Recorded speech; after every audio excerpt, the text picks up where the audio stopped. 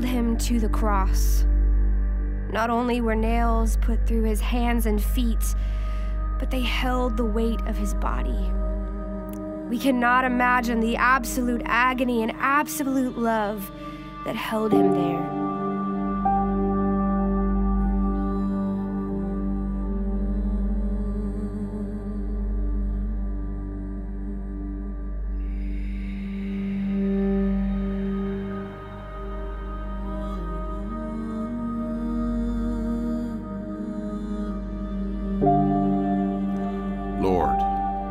I'm not worthy of the love you give or the pain you endured.